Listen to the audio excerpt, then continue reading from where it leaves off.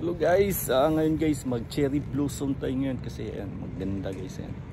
Tara, pasyalan natin cherry blossom ngayon guys. Yan. Tara, tara, tara.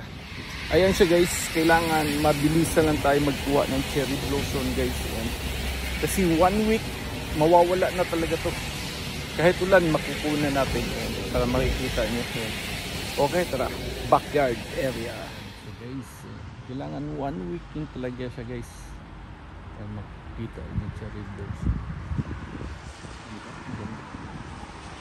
kahit umuulan guys kukunan natin kasi mabilis lang ito mawawala pag mahangin. Next week bunga na to siya guys. Andito tayo sa backyard area. Yes guys. Backyard area lang tayo guys kasi hindi tayo makapunta sa park. High Park kasi guys ganda to sa High Park madami dong mga hapon sa High Park. Mga Japanese Japanese cherry blossom guys nasa malapitan. Malapitan natin yan siya guys yan diba? Ang ganda ng cherry blossom kasi one week guys bungan na siya guys. Mawala na siya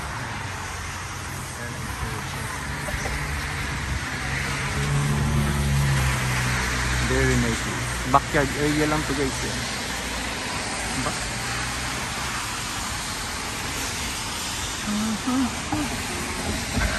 Ganda guys, ganda. Ayan guys, ang ganda.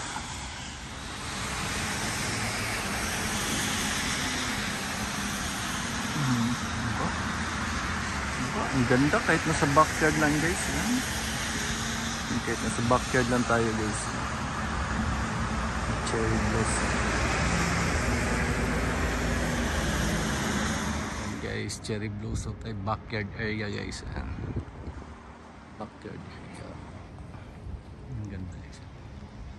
Diba? Ayan. Ang ganda ng cherry blossom guys.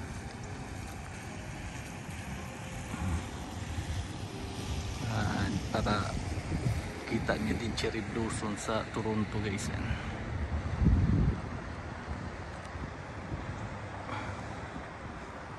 Ayan, ganda diba? Ayan siya guys, yan ang cherry blossom in Toronto guys yan. Kasi guys, ang story ng cherry blossom guys yan. So very ganda guys yan. Kasi ang mauna dito sa Toronto guys, cherry blossom ang tawag to. Kasi mauna ang flower compared to the leaves.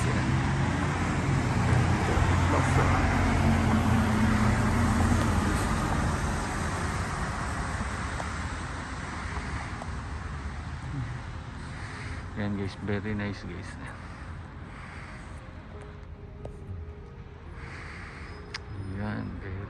Nice guys. Di ba? Yan ang nakakaganda dito. Cherry backyard condition. Eh. Ganda ng cherry blossom guys. Diba?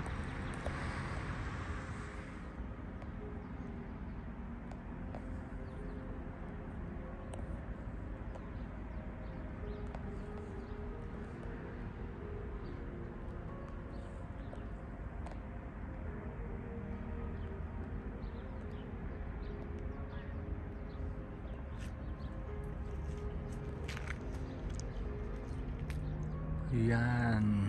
Ba, very nice masyado eh, guys. Yan.